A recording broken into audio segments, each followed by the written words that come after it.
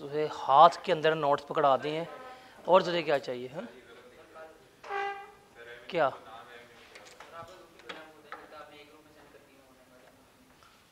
नहीं किए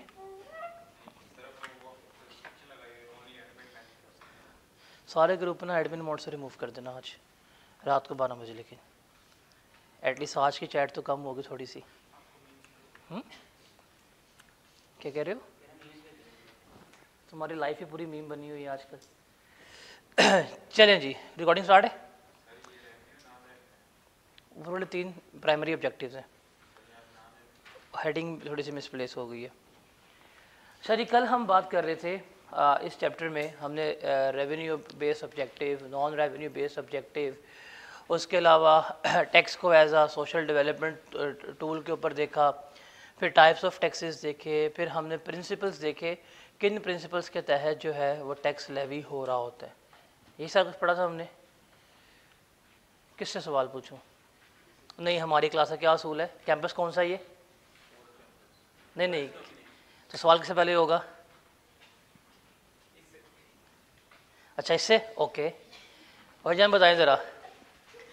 ability to pay principle की कोई एग्जांपल बताएँ। मैंने इसलिए चेंज कर लिया है। एबिलिटी टू पे प्रिंसिपल कोई एग्जांपल बताएँ।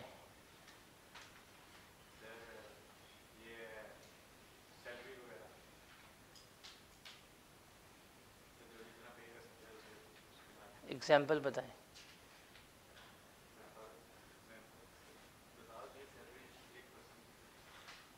एबिलिटी टू पे प्रिंसिपल की एग्ज़ाम्पल बताएँ। एग्ज़ाम्पल बताएँ। इनकम टैक्स अपनी बीच में साइंस आ रही है।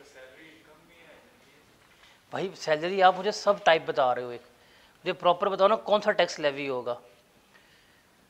बेनिफिट प्रिंसिपल की एग्जांपल कौन बताएगा? हाँ भाई, आप सब लेट आते हैं। क्लास का टाइम क्या है हमारा? तेरा मुँह तो फिर भी सूखा हुआ है। पानी तो आ नहीं रहा आज कौन से पानी से मुँह धो के आ रहा है तू भाई? यार कैसा कैसा बंद है? मेरे से भी लेट आने वाला आदमी। अच्छा।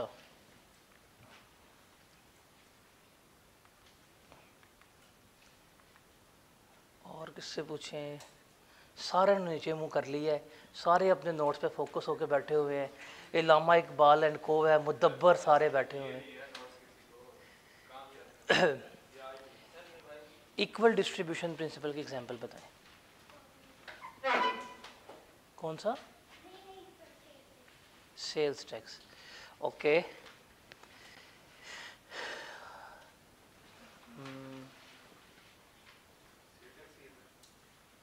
sale tax ही है भाई। कैसे पानी है कह दो मौसम? पानी का ज़रा। वैसे आप बताएँ। कोई से तीन objective of tax for development कोई से तीन।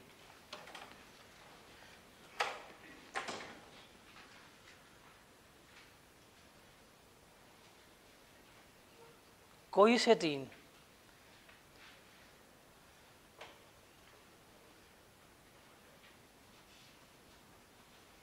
समझ लग गई मुझे। ऐसे ऐसे और ऐसे, बस डेट सेट तीन हो गए। हैं सिर्फ़ पानी बाद में पिए पहले से बताओ। कोई से तीन ऑब्जेक्टिव्स जो डेवलपमेंट में इस्तेमाल होते हैं टैक्स के। Tax as a means for development हाँ वेरी गुड इस पर टैक्स इंसेंटिव है एजुकेशन अच्छा हर एक में इंसेंटिव डाली जा रहा है, मज़ा आ रहा है ना। आगे। हुँ? दो हो गए हैं, तीसरा बताओ। तेरे पे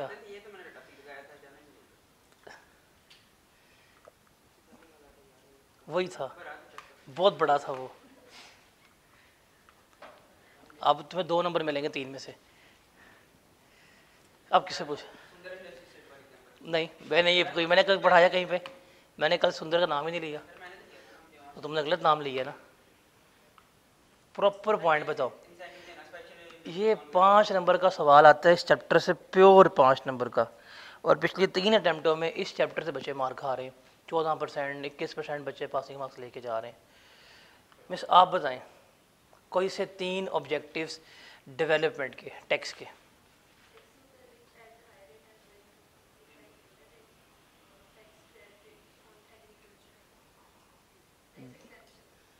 टैक्स तीसरा? ठीक है ठीक है ठीक है। भजन कैसे हैं? तो ये ठीक है? नाश्ता करके आए हो? नींद पूरी है, आँखें तो बंद हो रही हैं। कोई से तीन नॉन रेवेन्यू ऑब्जेक्टिव टैक्स के बताने हैं आपने?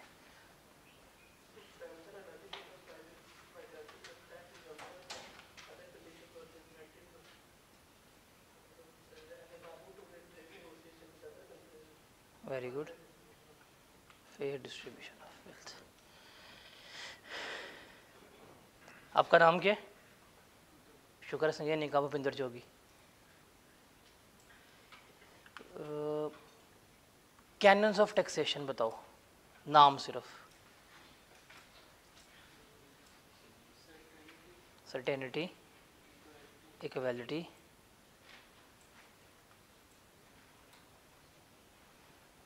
दो हो गए हैं दो और चाहिए सिर्फ़। कन्वीनियंस ऑफ़ पेमेंट और आखिरी कौन से है? आता ही नहीं है। हाँ भाई बता। इकोनॉमी ऑफ़ कलेक्शन बता क्या होती है?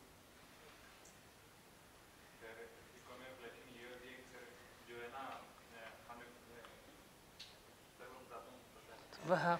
यार चेयर ले आओ। सुबह हो जाएगी आज।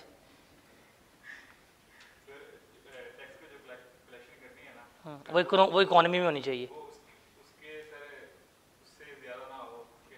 एक मिनट। टैक्स की जो कलेक्शन करनी है ना, वो जो है, वो उससे ज़्यादा ना हो। उससे किससे ज़्यादा ना हो? टैक्स की कलेक्शन जो है, वो उसके रेवेन्यू से ज़्यादा ना हो। एक अस्तफरल्ला मतलब टैक्स की कलेक्शन जो है, वो टैक्स के रेवेन्यू से ज़्यादा ना हो। फिर इससे वही वाली बात नहीं की। अब समझ लग रही तुम्हारे लॉ में इतने नंबर क्यों आए हैं?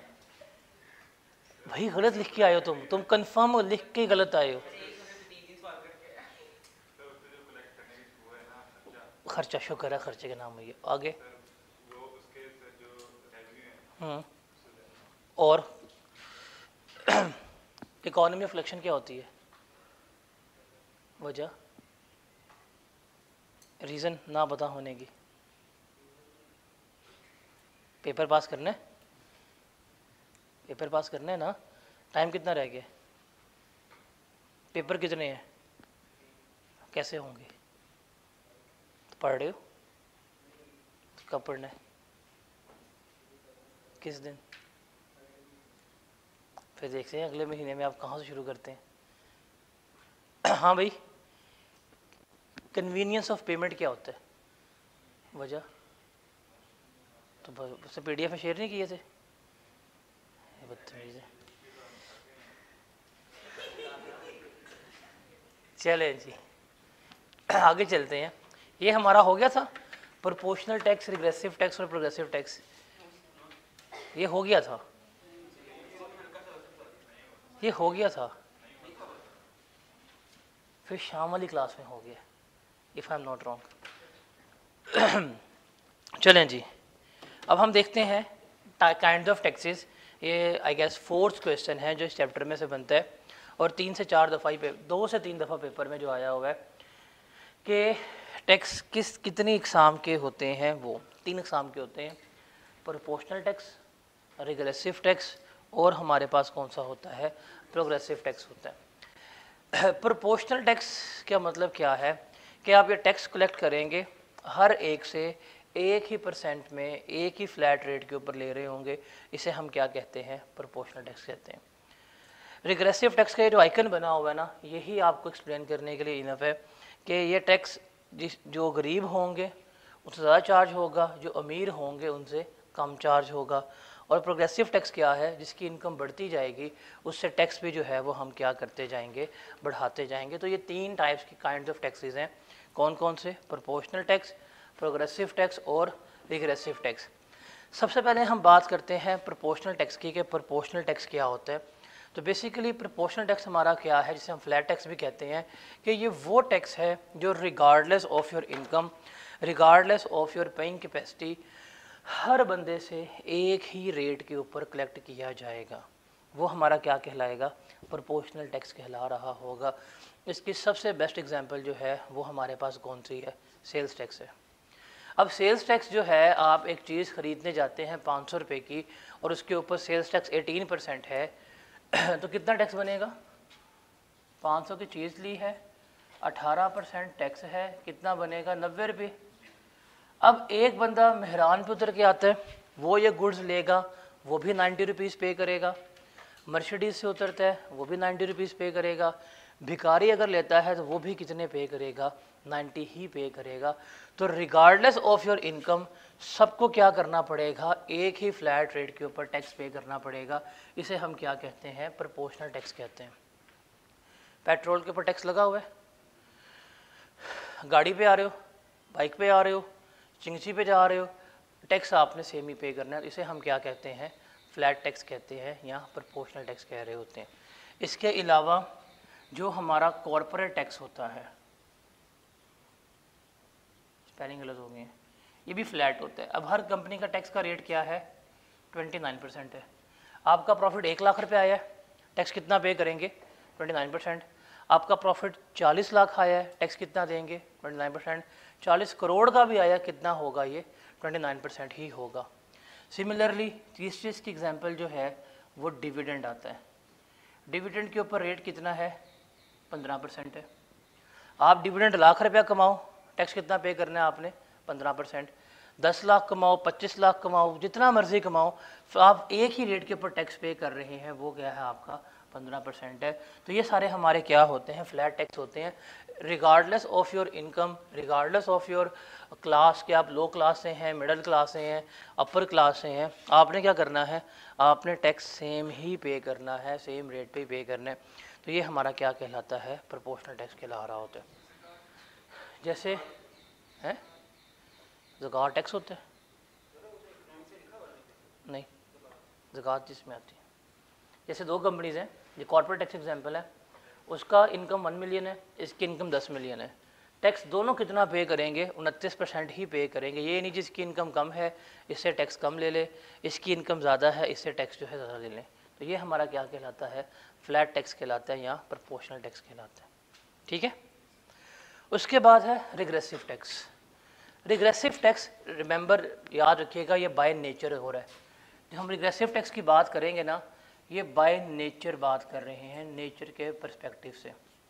Remember all indirect taxes are regressive tax जितने भी इनडायरेक्ट टैक्सेस होते हैं ना, वो सारे क्या होते हैं? रिग्रेसिव इन नेचर होते हैं।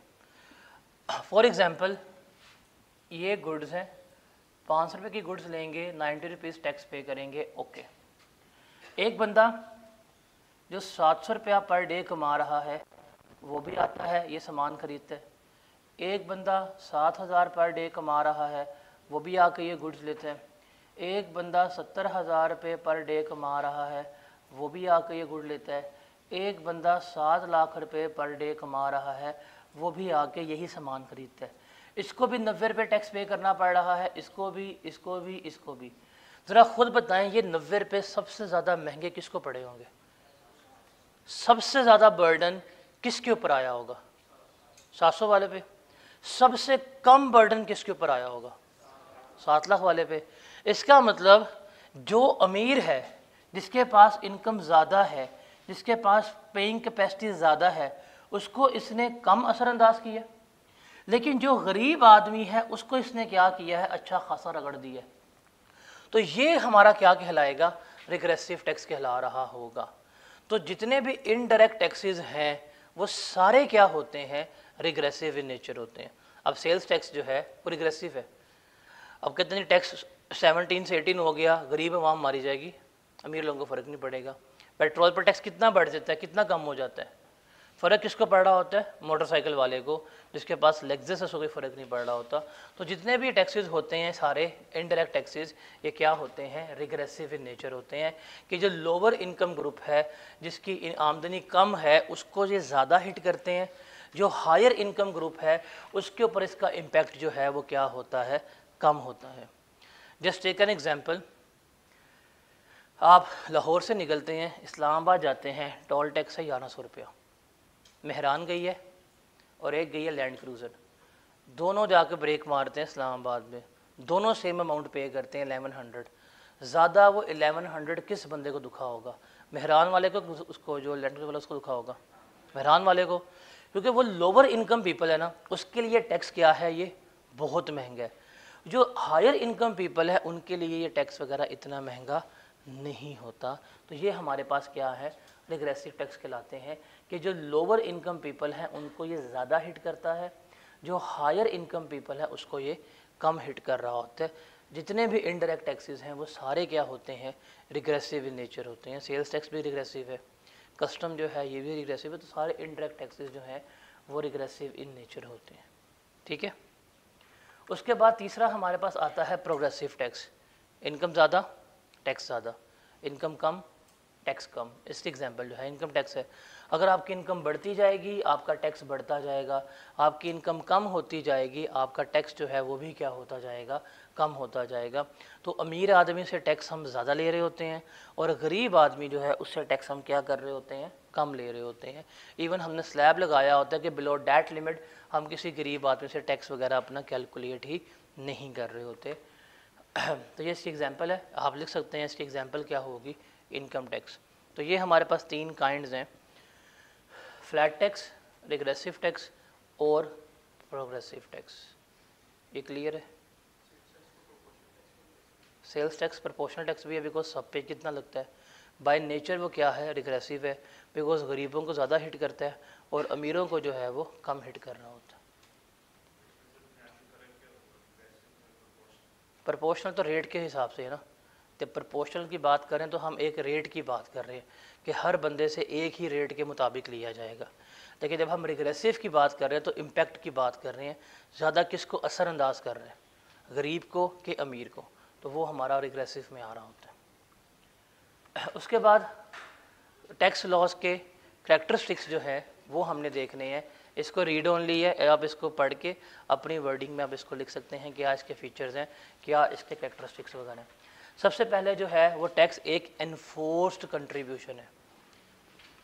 बजोर ताकत हुकूमत जो है, वो टैक्स कलेक्ट कर रही होती है। हुकूमत ये नहीं कहती कि जी, जाके मस्जिदों में ऐलान करती है, कोई अल्लाह नबी का प्यारा आँखों वाला टैक्स देना चाहता है, हमें दे दे। ऐसे नहीं करती। या वो ये नहीं कहती कि आपको लगता है हम मांगने आए हैं, बट हम मांगने नहीं आए, लेकिन फिर भी हम मांगने आए हमें टैक्स दे दो। वो कहते हैं, भाई, किधर? इधर जा रहे हो, पहले आओ, टैक्स पे करो, फिर जाओ। इवन आप मर गए हैं ना तब भी आपको कब्र से निकाल कर टैक्स आपको ले लेगी गवर्नमेंट। आपके जो स्टेट है, जो आपके एसेट्स हैं, आपकी वफात के बाद गवर्नमेंट उनसे भी टैक्स रिकवर करवा लेती है। तो गवर्नमेंट टैक्स लेती है और ये इन्फोर्स करती है लीगली इन्फोर्स करती है। कानूनी तौर के ऊपर क्या होता है? इन्फोर्स कर रही है। वो लेंट्री नहीं है कि जी, टैक्स दे दें कितना, जितना दिल कर रहे दे दें। ऐसे नहीं होता। प्रॉपर आपको कैलकुलेट करके टैक्स लिया जा रहा होता है। उसके अलावा टैक्स जो है, वो जनरली कैश में पे होता है या चेक के ज़रिए पे होता है। मतलब कैश और कैश इक्वलेंट आइटम्स में गवर्नमेंट टैक्स ले रही होती है। ये नहीं होता कि जी आप टैक्स पे कर रहे हैं टैक्स का चलाना है दो लाख रुपया। आप कहिए मेरे पास दो लाख के दो बकरे हैं, ये ले लो। ऐसे नहीं होगा। बल्कि क्या करना है, आपने कैश देना है या चेक देना है या ऑनलाइन ट्रांसफ़र ही करना है। उसके अलावा टैक्स हमेशा परसेंटेजेस में लगा जाता है। प्रपोर्शनेट होता है। परसेंटेज में लगाया जाता है, दो परसेंट, दस परसेंट, पंद्रह परसेंट, बीस परसेंट, ये प्रोपोर्शनेट इन करेक्टर होते हैं। उसके अलावा टैक्स हमेशा लेवी होता है आपकी इनकम के ऊपर, आपकी प्रॉपर्टी के ऊपर, आपके ट्रांजैक्शंस के ऊपर। हमेशा टैक्स इनके ऊपर ही लग रहा होता है, कितना कमाया है कौन कौन से एसेट्स हैं कौन कौन सी आमदनी है, उनके ऊपर हम टैक्स जो है वो लगा रहे होते हैं। फिर टैक्स कौन लगाता है? हमेशा स्टेट रियासत लगाती है। किन चीज़ों पे लगाती है जो उसकी जुरिस्डिक्शन पे आ रही होती हैं? जैसे फॉर एग्ज़ाम्पल पाकिस्तान की हुकूमत है, फ्लैट लंदन में है, टैक्स नहीं लगा सकती। अब हम तो बेवकूफ़ बन जाती है ना कि पैसे हमारे यहाँ टैक्स लें, ये, वो, आपकी जुरिस्डिक्शन में नहीं आते वो। पंजाब गवर्नमेंट, सिंध गवर्नमेंट के जो जो जुरिस्डिक्शन सिंध की है, उस पर टैक्स नहीं ले सकती। सिंध वाले पंजाब से टैक्स नहीं ले सकते। तो जो हुकूमत की जुरिस्डिक्शन में चीज़ें आ रही होंगी सिर्फ़ उसी के ऊपर, उसी इनकम के ऊपर, उन्हीं ट्रांजैक्शंस के ऊपर, उन्हीं एसेट्स के ऊपर क्या कर रही होगी?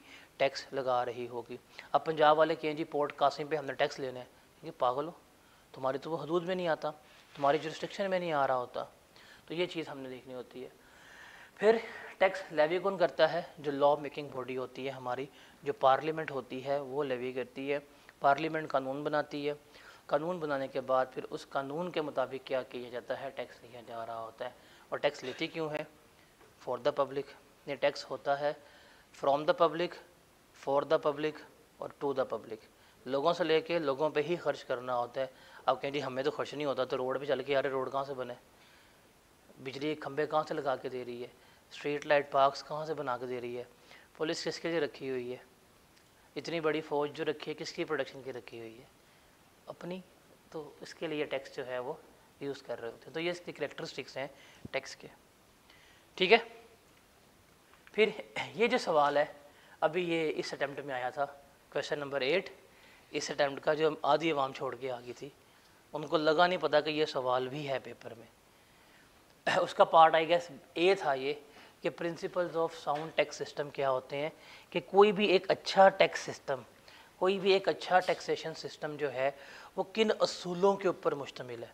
या कौन से चार पिलर्स हैं जो एक अच्छे सिस्टम की निशानदेही कर रहे होते हैं? देखिए टैक्सेशन सिस्टम तो बहुत ज़्यादा होते हैं, लेकिन एक अच्छा टैक्सेशन सिस्टम जो है, वो किन असूलों के ऊपर बेस होना चाहिए? ये चार बातें हैं जो आपने याद रखनी है। पहली है फ़िज़िकल एडिक्वेसी फ़िज़िकल एडुकेसी का मतलब क्या होता है कि जो आपका टैक्सेशन सिस्टम है जो आपके मुल्क में चल रहा है, वो इतना सफिशेंट होना चाहिए कि अगर आपको पैसों की कोई नीड है, वो आपकी नीड पूरी करके दे रहा हो। आपको डेफिशिट ना हो, आपको खसारा ना हो रहा हो। अगर आपको हज़ार रुपये चाहिए तो सिस्टम आपको हज़ार रुपया कलेक्ट करके देने वाला हो। अगर आपको दस हज़ार चाहिए सिस्टम आपको दस हज़ार रुपये भी कलेक्ट करके देने वाला होना चाहिए। आप गवर्नमेंट अपने एक्सपेंडिचर्स के बेसिस के ऊपर, अगर गवर्नमेंट के अखराज बढ़ रहे हैं तो गवर्नमेंट क्या कर सकती है? अपना रेवेन्यू इंक्रीज़ कर सकती है। अगर उसके अखराज कम हो रहे हैं तो उसकी बेसिस के ऊपर अपने सिस्टम को कॉन्ट्रैक्ट कर सकती है या रिलैक्स कर सकती है एक्सपेंड कर सकती है। ये एक अच्छे सिस्टम की निशानी है, जो हमारा नहीं है। हमारा डेफिशिट होता है। उसके अलावा इक्वालिटी और थ्रेटिकल जस्टिस होना चाहिए। इसका मतलब क्या है कि टैक्स सबसे लेना है लेकिन उनकी पेइंग कैपेसिटी के मुताबिक एबिलिटी टू पेमेंट देखनी है। अगर बंदे टैक्स पे कर सकते हैं तो टैक्स लो। लेकिन लेना भी सबसे है, आपने टैक्स तो सबसे कलेक्ट करना है, किसी को छोड़ना भी नहीं है। उसके बाद तीसरा है एडमिनिस्ट्रेटिव फिजिबिलिटी एडमिनिस्ट्रेटिव फिजिबिलिटी का मतलब क्या है कि जो हमारा टैक्स डिपार्टमेंट है, जो एडमिनिस्ट्रेशन है, जो टैक्स कलेक्ट करने वाला इदारा है, वो एक ट्रेंड होना चाहिए वो इदारा जो है वो क्या कह सकते हैं वेल ट्रेन होना चाहिए ऑफिशल्स जो टैक्स पेयर के लिए क्या कर रहे हों आसानियाँ पैदा कर रहे हों। जब टैक्स पेयर जाए टैक्स पे करने के लिए वो उसको लाइक like, डील करें वेल ट्रेन पब्लिक ऑफिशल्स हों अप टू डेटेड होने चाहिए नॉलेज का पता हो करप्शन गिफ्ट वगैरह से पाक हो बिज़नेस एक्टिविटी को डिस्करेज ना कर रहे हों। अनड्यू इन्फ्लुएंस ना शो कर रहे हो। जितना कन्वीनियंट सिस्टम हो कि टैक्स पेयर को जाए और टैक्स पेयर जो को टैक्स पे करना जो है वो क्या लगे, आसान लग रहा हो। और आखिरी है कंसिस्टेंसी और कंपेटिबिलिटी विद इकोनॉमिक गोल्स कि आपका सिस्टम जो है वो आपके इकोनॉमिक गोल्स के साथ क्या होना चाहिए कंपेटिबल होना चाहिए। आपको अगर G D P five point seven पर लेके जाना है, आपका सिस्टम इतना हो कि फाइव पॉइंट सेवन के जाने के लिए जी डी पी आपका वो सपोर्ट कर रहा हो।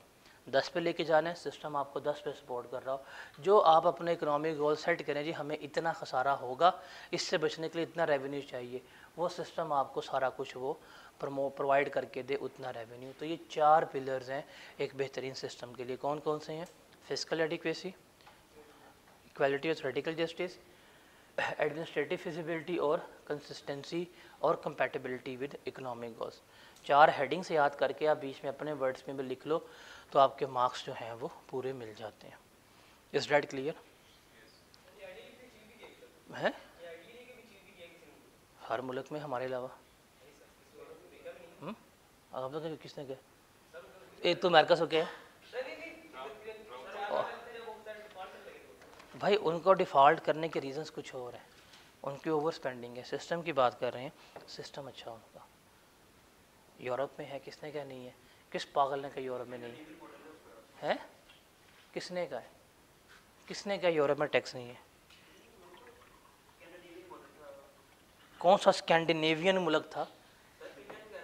किसने क्या टैक्स नहीं है? फिनलैंड में अच्छा खासा टैक्स पड़ता है। यूरोप का टैक्सेशन सिस्टम सबसे बेस्ट और सबसे ट्रांसपेरेंट है। किसने कहा आपको? पूरे यूरोप में सबसे बेहतरीन टैक्सेशन सिस्टम जो है। आपका यूएई गल्फ वगैरह में अच्छा सिस्टम रन हो रहा है। थोड़ा बहुत टैक्स किसने का नहीं है। कॉर्पोरेट टैक्स लग गया अब एक साल हो गया। ले रहे हैं। वैट ले रहे हैं। वैट के रिफंड हैं। तो अच्छा खासा सिस्टम डेवलप है। हमारे मुल्क में नहीं है। हमारे हमसाए मुल्क में हमसे बेहतर टैक्सेशन सिस्टम है। इंडिया में। अफ़गानिस्तान में कुछ भी नहीं है। कल का जिस तरह वो मैच हारे हैं, अब तो वहाँ आज तो पूरे मुल्क में हड़ताल है। छुट्टी है। तंदूरों की। नान बाई एसोसिएशन ने पूरे मुल्क में हड़ताल का ऐलान किया हुआ एक अच्छा मैच था, कल का बहुत अच्छा मैच था।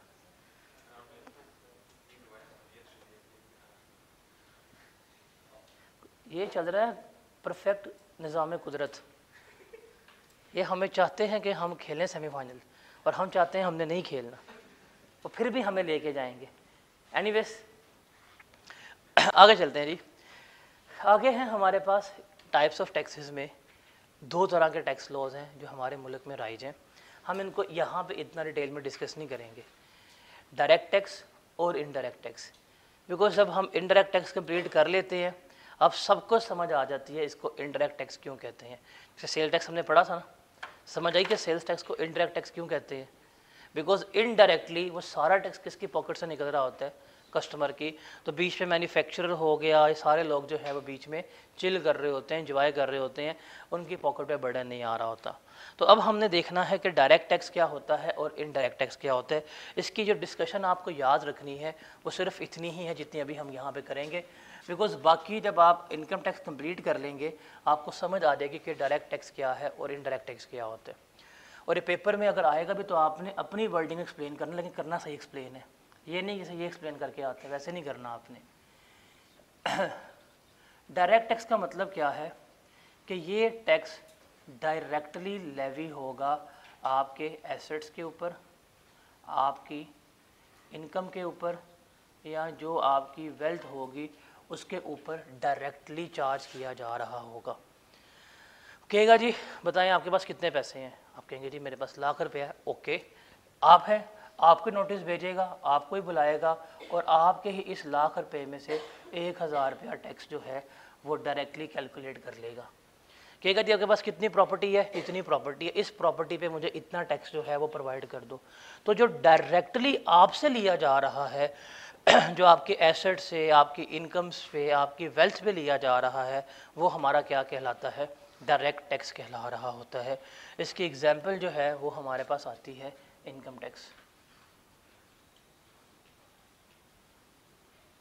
फिर आता है हमारे पास C V T capital value tax ये ज़मीनों की, जायदादों की जब कीमत बढ़ रही होती है, उसके ऊपर ले रहे होते हैं।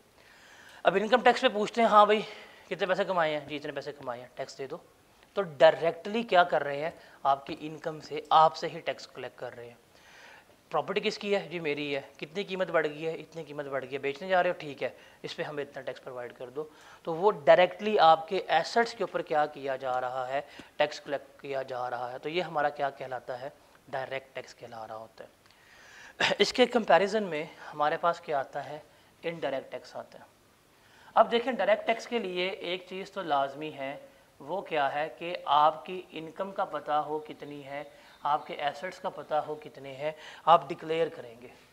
आप बताएँगे कि जी, मैंने इतने पैसे कमाए हैं, मैंने इतने पैसे नहीं कमाए, ये मेरे एसेट्स की वैल्यू है, ये मेरे एसेट्स की वैल्यू नहीं है।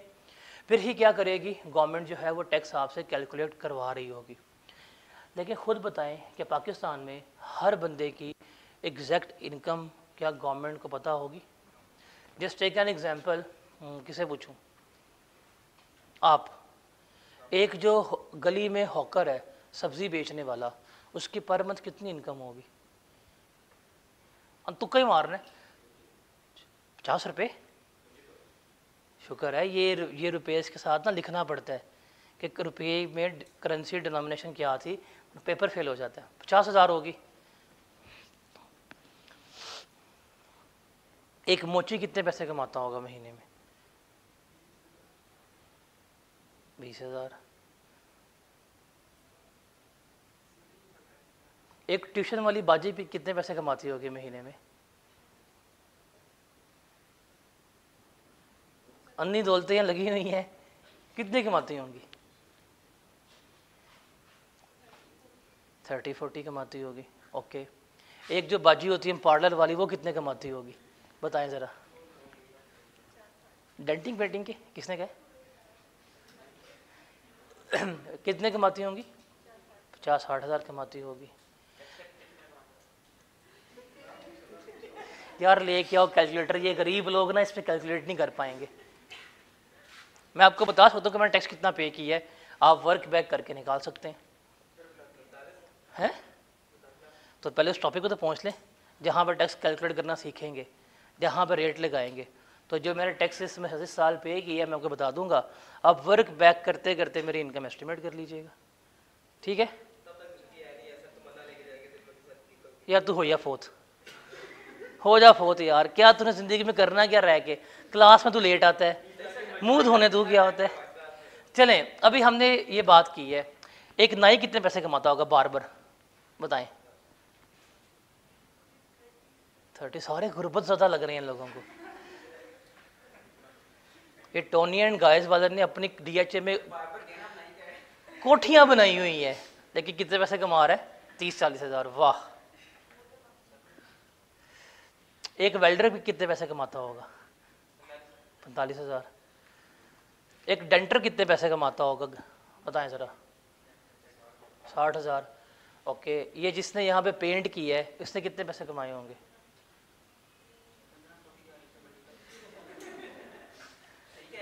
कितने?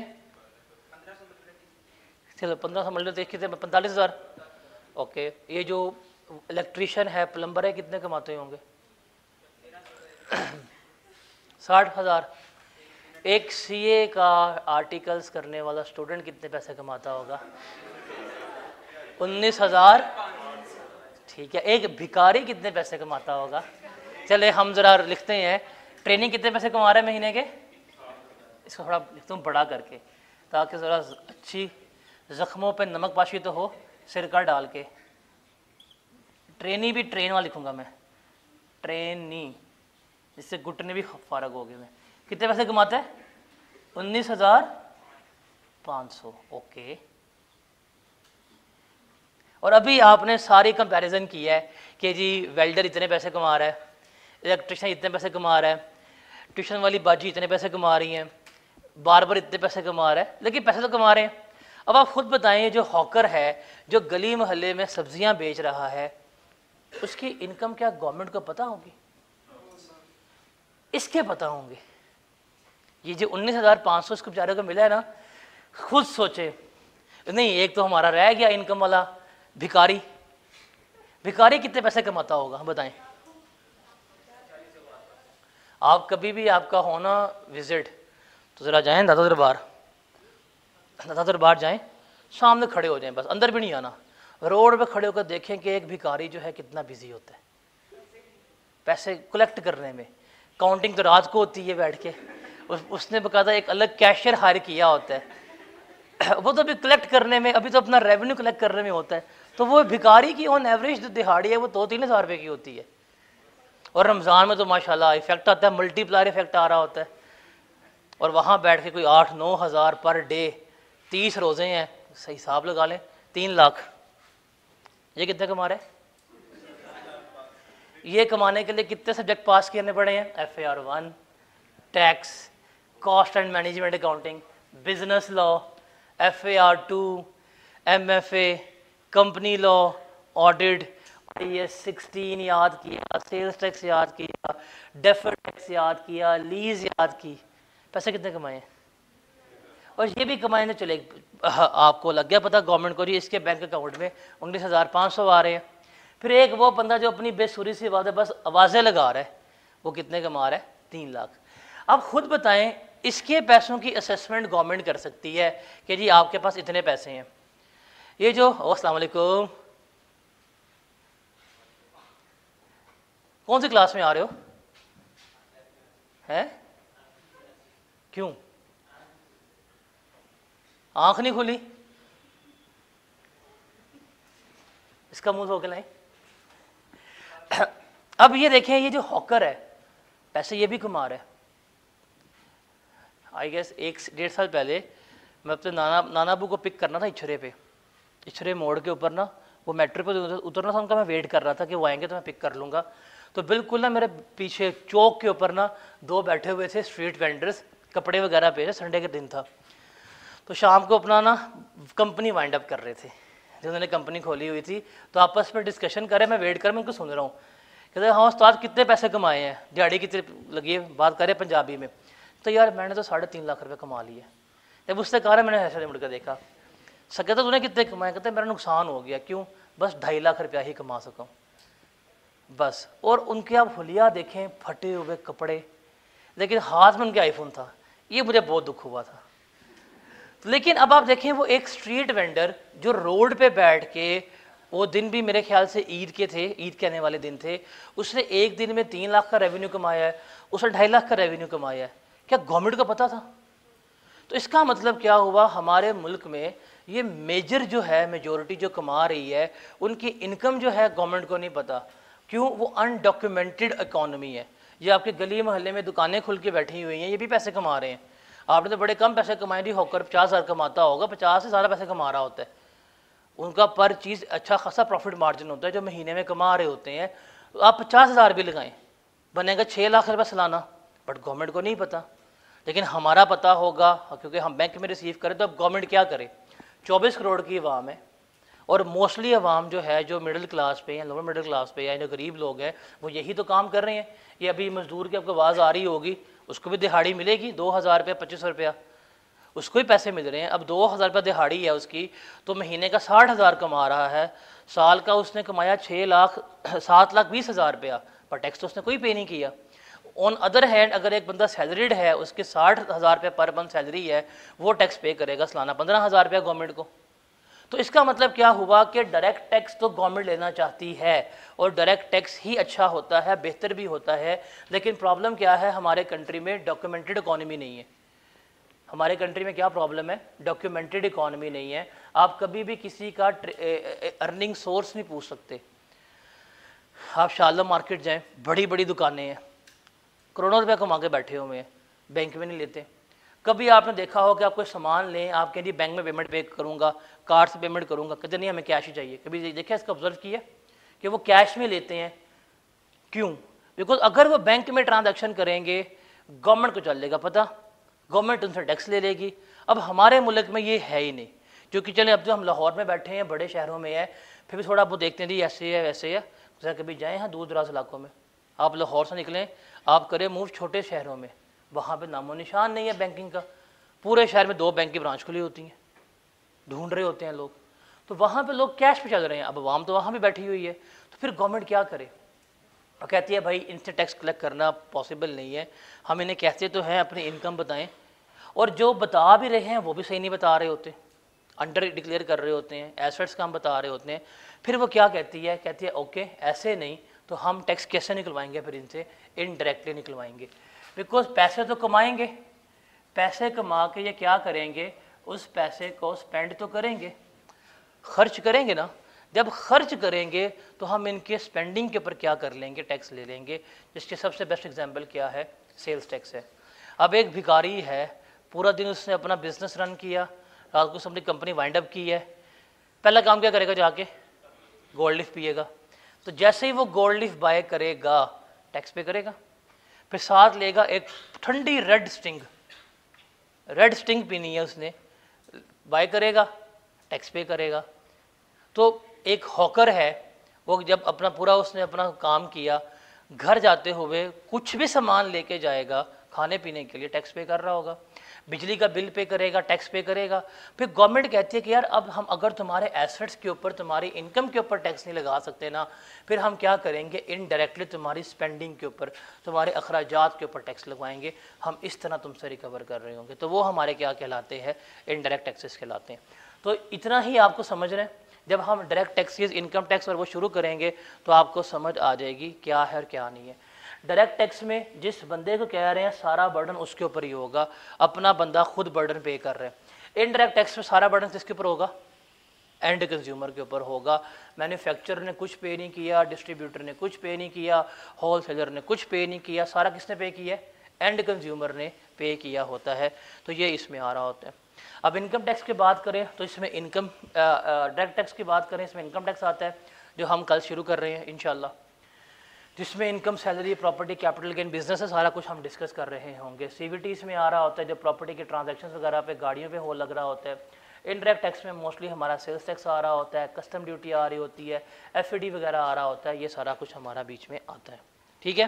तो ये सारा कुछ आपको बस इतना ही याद करने की भी ज़रूरत नहीं है। जब आपका सिलेबस कंप्लीट होता है ना तो आप ज़्यादा बेहतर वे में लिख सकते हैं कि डायरेक्ट टैक्स क्या होता है और इनडायरेक्ट टैक्स क्या होता है। ठीक है? बाकी ये हिस्ट्री ऑफ़ टैक्स लॉज है, ये करने, ये लाइक पढ़ने की भी ज़रूरत नहीं है पेपर में इसमें से कभी भी कोई चीज़ नहीं आ रही होती।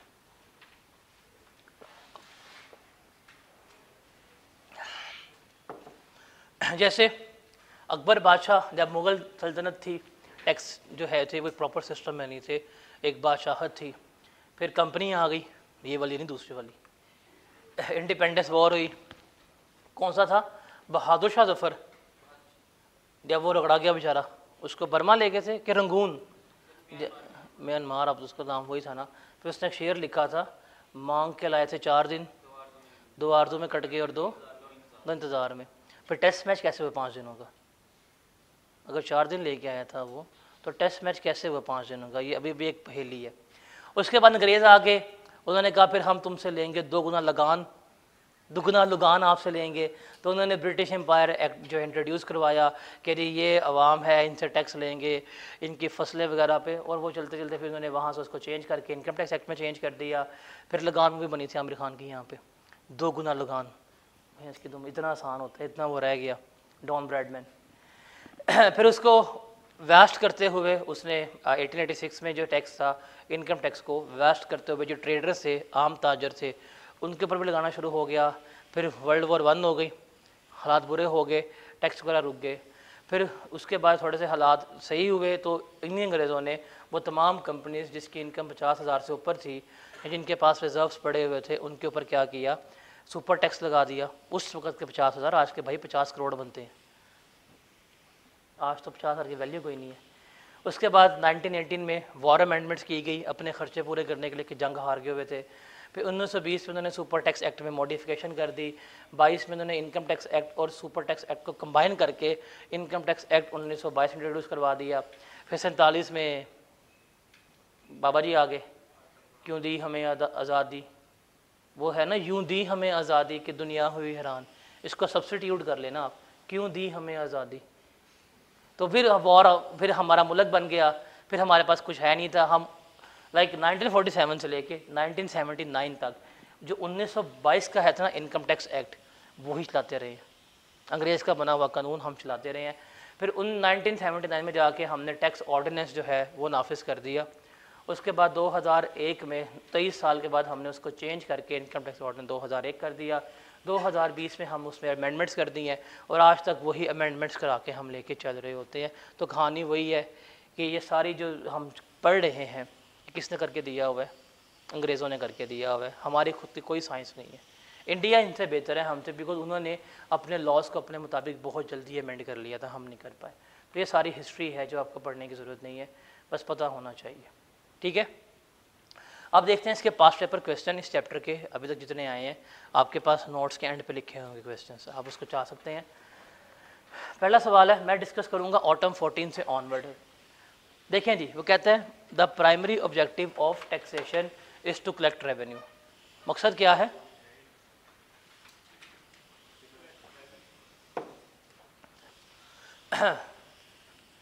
The primary objective of taxation is to collect revenue, you are required to list the other objectives non revenue which our taxation system can achieve. 10 number का सवाल आया हुआ है। नॉन रेवेन्यू ऑब्जेक्टिव्स आपने लिखने हैं। कोई से पाँच लिख दो। लिख सकते हो? कि बार बारगेनिंग टूल के तौर पे इस्तेमाल हो रहा होता है फेयर डिस्ट्रीब्यूशन ऑफ़ वेल्थ है। ये सारी चीज़ें आपने लिखनी है। कोई से पाँच लिखो, लिख लोगे। फिर स्प्रिंग 2015 में state any five ways through which taxes can be use for development of a country ये जो भी आप बता रहे थे एग्रो बेस्ड हो गया टैक्स एग्जामेशन हो गई हैं टैक्स इंसेंटिव दे रहे हैं फ्री ट्रेड जोन्स क्रिएट कर दी हैं लग्जरी गुड्स के ऊपर हाई टैक्स लगा दिया है, वो इसमें आता है। लिख लेंगे ये भी। उसके बाद थर्ड क्वेश्चन है briefly explain any three indirect taxes applicable in Pakistan sales tax होता है कस्टम ड्यूटी होता है और एफ़ होता है। और इनडायरेक्ट टैक्स होता क्या है, जो आपके ऊपर नहीं, बल्कि इनडायरेक्टली आपसे किया जाता है और सारा बर्डन किसके ऊपर होता है, आप लोगों के ऊपर होता है। तो ये तीन सवाल जो हैं, वो आते हैं 2015 तक। फिर आगे चलते हैं, कहते हैं जी स्प्रिंग 2016 में आप एक और कीजिएगा कि इस चैप्टर में से मोस्टली क्वेश्चन कब आ रहे हैं? स्प्रिंग में आ रहे हैं। आपकी अटैम्प्ट कौन सी है? तो याद रखिएगा। Beside financing government operational expenditures कि गवर्नमेंट के एक्सपेंडिचर्स पूरे करने से साथ साथ taxation is also utilise as a tool to carry out national objective of social and economic development list any five non revenue objective of taxation कोई से पाँच नॉन रेवेन्यू ऑब्जेक्टिव्स आपने लिखने हैं। लिख लेंगे? अब वहाँ पे दस नंबर का था। अब कितने नंबर का हो गया? पाँच नंबर का हो गया। सेम क्वेश्चन रिपीट हो रहा है। इवन अंग्रेज़ी भी उसने चेंज नहीं की हुई। फिर स्प्रिंग 2018 में taxes are primary revenue yielding tools of the government of modern ages you are require to state any three non revenue objective which the government achieve by imposing taxation same question है। तो अब तीन number का आ गया। यहाँ तीन लिख रहे हैं, वहाँ पाँच लिख रहे हैं आपने। उसके बाद क्वेश्चन नंबर सिक्स ऑटम अठारह में आया हुआ है. Briefly explain three indirect taxes in Pakistan ये भी सवाल रिपीट हो रहा है. कौन कौन से टैक्सेस हमारे एप्लीकेबल होते हैं? फिर ये सवाल है ऑटम अठारह का. कि उसने हमें टैक्स बता दिए हैं. हमने बताने हैं कि इनके ऑब्जेक्टिव क्या है. इन टैक्स से गवर्नमेंट क्या अचीव करना चाहती है. मकसद क्या है वो बताना है. High tax rate on high income जिसकी इनकम ज़्यादा है, उसके ऊपर टैक्स ज़्यादा होना चाहिए. इससे क्या गवर्नमेंट अचीव करना चाहती है? फेयर डिस्ट्रीब्यूशन ऑफ़ वेल्थ भी हो जाती है। दूसरा रेवेन्यू कलेक्शन इस पर गवर्नमेंट करना चाहती है। फिर high tax on import of luxury goods import के ऊपर गवर्नमेंट हाई टैक्स कर रही है। क्या अचीव करेगी? लोकल इंडस्ट्री को प्रोटेक्ट करने के लिए इम्पोर्ट एक्सपोर्ट को बैलेंस करने के लिए, यही आ जाएगा इसका। फिर तीसरा है tax credit on donation to approve institution इस पर गवर्नमेंट क्या अचीव करती है? इस पर गवर्नमेंट अचीव करती है ताकि लोग मज़ीद आएँ डोनेशन करें वेलफेयर कल्चर इम्प्रूव करने के लिए क्या करती है प्रमोट करने के लिए गवर्नमेंट डिटेल्स करवा रही होती है। फिर है ये टैक्स क्रेडिट ऑन इन्वेस्टमेंट आप इन्वेस्टमेंट करेंगे, आपको क्या दिया जाएगा? टैक्स माफ़ किया जाएगा। इससे गवर्नमेंट क्या अचीव करेगी? ताकि मज़ीद लोग आए, मज़ीद लोग इन्वेस्ट करें। आप एक कंट्री में फ़ॉरन इन्वेस्टमेंट को इंक्रीज़ करने के लिए गवर्नमेंट कर रही होती है। फिर creation of tax free zones इससे क्या अचीव होगा? Development of area under develop area को डेवलप करवाने के लिए इन्वेस्टमेंट्स को लाने के लिए कंपनीज़ को बढ़ाने के लिए गवर्नमेंट ये कर रही होती है। फिर tax on income of individual and companies income पर टैक्स लगाने का एक ही मकसद है रेवेन्यू कलेक्शन पैसा जो है वो क्या करना है गवर्नमेंट ने कलेक्ट करना है। फिर tax on transaction not made through normal banking channel कि अगर आप कैश में ट्रांजैक्शन करते हैं तो टैक्स लगेगा। बैंक से ट्रांजैक्शन नहीं करते बैंक से करते हैं टैक्स नहीं लगेगा। इस पर गवर्नमेंट क्या अचीव करना चाहती है? डॉक्यूमेंटेशन ऑफ़ इकॉनमी ताकि मैक्सिमम लोग बैंक के ज़रिए करें। हमें पता हो डॉक्यूमेंटेशन हो जाए, गवर्नमेंट ये अचीव करना चाहती है। फिर आखिरी है zero rating under sales tax इस पर गवर्नमेंट क्या अचीव करती है? एक्सपोर्ट्स ज़्यादा होने के लिए। एक्सपोर्ट्स को बढ़ाने के लिए गवर्नमेंट क्या कर रही होती है? ज़ीरो रेटिंग इंट्रोड्यूस करवा के बैठी होती है। तो ये आया था ऑटम अठारह में। फिर ऑटम उन्नीस में आया three broad principles for levy of tax ability to pay principle benefit principle और इक्वल डिस्ट्रीब्यूशन प्रिंसिपल ये तीन प्रिंसिपल हैं जिसके मुताबिक क्या होता है? टैक्स चार्ज हो रहा होता है। एबिलिटी टू पे प्रिंसिपल जिसकी इनकम ज़्यादा है टैक्स ज़्यादा लो, जिसकी इनकम कम है, उससे टैक्स कम लो। बेनिफिट प्रिंसिपल क्या था? जितना आप गवर्नमेंट से बेनिफिट लोगे, उतना ही टैक्स देना पड़ेगा। और इक्वल डिस्ट्रीब्यूशन क्या है? कि सबसे टैक्स आपने कैलकुलेट करना है। और थ्री इंडायरेक्ट टैक्सेस कौन से हैं? Custom duty F D sales tax इसका एक्सप्लेन करना है। ऑटम उन्नीस में नौ नंबर का सवाल इसमें से आया हुआ है क्या ये मुश्किल है? फिर स्प्रिंग 2021 में आया जी। मार्क्स रह गए हैं बीच में से।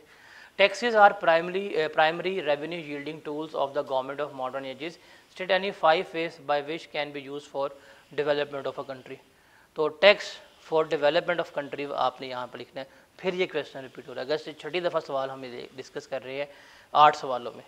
तो मोस्ट फ्रिक्वेंटली क्वेश्चन यही है नॉन रेवेन्यू ऑब्जेक्टिव को पेपर में पूछ रहा है।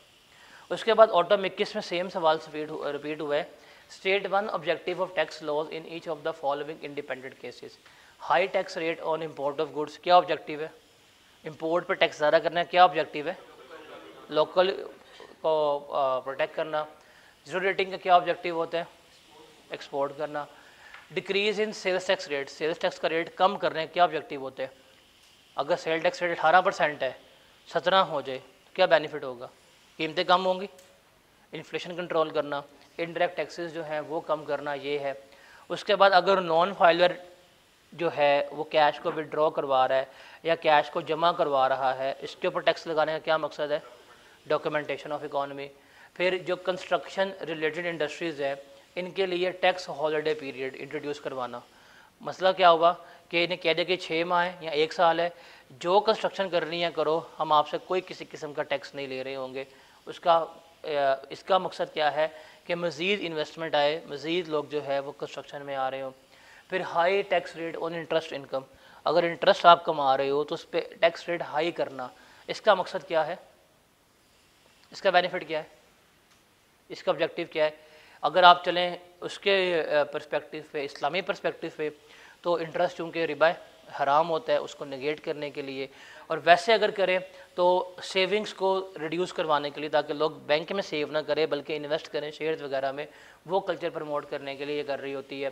फिर decrease in tax rate for online sale अगर ऑनलाइन सेल्स करोगे टैक्स रेट कम होगा। क्या ऑब्जेक्टिव है? ताकि ई कॉमर्स जो है, ज़्यादा बढ़े, लोग ज़्यादा ई कॉमर्स में आए तो उसको प्रमोट करने के लिए ऑनलाइन सेल्स पर टैक्स जो है, वो कम कर देती है गवर्नमेंट फिर अगर आप फ्रेश ग्रेजुएट्स एम्प्लॉय कर रहे हैं, उनको नौकरी दे रहे हैं, उनको मिलेगा टैक्स क्रेडिट्स इसका ऑब्जेक्टिव क्या है? ताकि मज़ीद जो फ्रेश ग्रेजुएट्स हैं, वो हायर किए जाएँ, उनको रोज़गार के मौके मिले, ये ऑब्जेक्टिव अचीव करना। फिर high tax rate on luxury items इसका क्या है? डिस्ट्रीब्यूशन ऑफ़ वेल्थ भी हो सकता है। लोकल इंडस्ट्रीज़ को प्रोटेक्ट करना भी इसमें आ जाता है। फिर allow expenditure on research and development research and development को प्रमोट करने के लिए वो एक्सपेंडिचर जो है वो अलाउ करवा रहे होते हैं। तो ये इसमें सारे के सारे ऑब्जेक्टिव हैं। ये दस नंबर के आए हुए थे, ये पाँच नंबर का सवाल था ऑटम 2021 में। फिर स्प्रिंग 2022 में state any four non revenue objectives which तक government achieve by imposing taxation कोई से आपने चार नॉन रेवेन्यू ऑब्जेक्टिव लिखने हैं फिर discuss any three principles of sound tax system अभी हम पढ़ गए हैं fiscal adequacy administrative feasibility theoretical और इक्वलिटी जस्टिस कंसिस्टेंसी और कंपेटिबिलिटी विद इकोनॉमिक गोल्स तो ये कोई से तीन जो प्रिंसिपल्स हैं जो आपने क्या करने हैं यहाँ पे बताने हैं। तो ये इस चैप्टर के सारे के सारे क्या थे? चैप्टर हमारा कंप्लीट हो गया। आवाज़ आ रही है? यहाँ पे हमारा चैप्टर जो है ये कंप्लीट होता है। चैप्टर वन इसके सारे पास पेपर्स आप लोगों ने करने हैं। इसका टेस्ट हम आई गेस सैटरडे को लेंगे। फ्राइडे को या सैटरडे को हम इसका टेस्ट जो है वो कंडक्ट करवा लेंगे। छुट्टियाँ किस चीज़ की? तो आएगी, देखी जाएगी। अभी कोई छुट्टी नहीं है। कल आप लोगों ने आना ही है। अगर छुट्टी हुई तो मैसेज कर देंगे। और कल हम स्टार्ट करेंगे अपना इनकम टैक्स ठीक है?